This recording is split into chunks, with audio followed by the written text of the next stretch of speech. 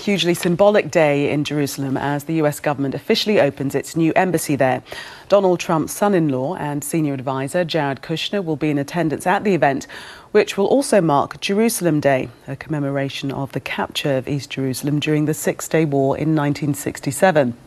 Well, the decision by Mr. Trump to move the embassy from Tel Aviv has sparked protests from Palestinians and criticism from the international community, who believe that the decision to create a fatal could create a fatal roadblock in any future efforts to revive the peace process. Well, let's speak now to Israeli writer and former humanitarian officer for the Israeli Defense Force, Hen Mazzig. He's in Tel Aviv for us. Good morning to you. Um, the UN has condemned uh, what it's describing as as an excessive use of force against Palestinians at the moment. How would you respond to that? Oh, good morning. It's a pleasure to be here. Um, and congratulations to Netta that won the Eurovision yesterday. It's a big day here, and the following week is going to be very big in Israel. Um, I think that the situation right now is very delicate as uh, Israel is uh, you know, uh, facing uh, Iran and Hezbollah in the north. We're facing ten thousands of protesters in the border with Gaza, where uh, they want to break down the fence and uh, um, uh, sending Molotov, throwing Molotov cocktails, um, burning kites in the air, um, and saying uh, one quote that leader in Hamas said that as soon as they would break the fence, they would break down or take out the hearts of Palestine of Israelis. Um, so Israeli citizens are are, are worried. Um, um, but with that being said, I think it's a, it's a very important week for us here. Yes, I mean, it does seem as though it will be the, the, the perfect storm on Monday. We've got the Palestinians saying that they will uh, storm uh, the divisive border uh, and will move across. There have been many warnings of much increased violence. We know that one person has already lost their lives in those protests. Yeah, it's terrible. I mean, I'm thinking of any other country that will have to face such a, um, you know, 10,000 protesters that are trying to break through its border, um, throwing Molotov cocktails, trying to get to Israeli civilians and cities on the other side.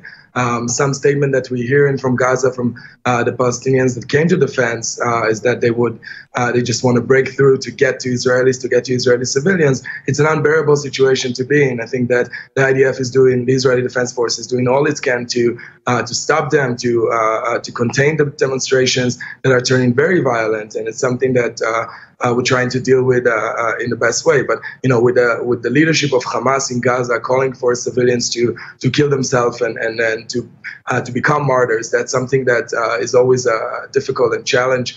Um, how do you stop it without hurting anyone when people throwing Molotov cocktails and bombs over to to defense to the border with Israel? Do you have any sympathy at all for the Palestinians? They're commemorating, particularly on Tuesday, um, them being moved forcibly from their uh, property when the, the State of Israel was created. Do you have any sympathy at all for them? Oh, definitely. I have sympathy. I mean, I'm a son of two refugees. My my dad came to Israel from North Africa. My mom came to Israel from Iraq. Both of them were part of 850,000 Jewish refugees that were expelled from the Middle East, and everything was stolen from them. A great great father was uh, was killed in Iraq. I mean, there's refugees created all over the world, and, and my family is a part of them.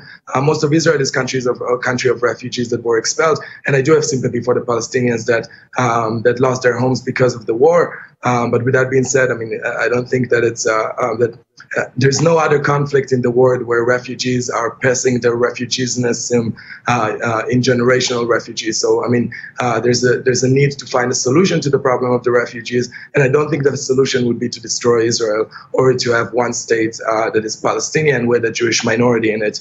my family were Jewish minority in Iraq and in Tunisia um, under Arab Muslim control. it wasn't it wasn't a great experience to say the least.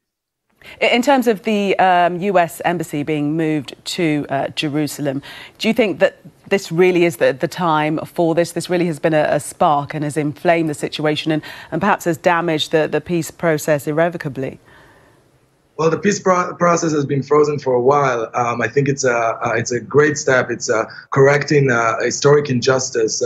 Uh, every country in the world has its right to say where its capital is, but it seems that Israel is the only country where we say that Jerusalem is our capital and the world ignores us. Um, so I think it's correcting injustice. And the second thing is that the U.S. has the right to choose where they want to put their embassy. Guatemala has the right to, to follow them, and other countries have the right to follow them as well.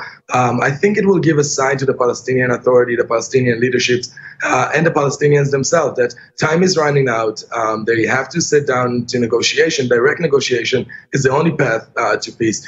Um, to to reject uh, the rejectionism of the Palestinians that, that we've been seeing for uh, more than 70 years uh, is something that. Uh, that must stop, and I think that this would be the the right way to push them to, to direct negotiation to to bring peace closer. Hen Mazzig, thank you very much for speaking to us this morning. Thanks for having me.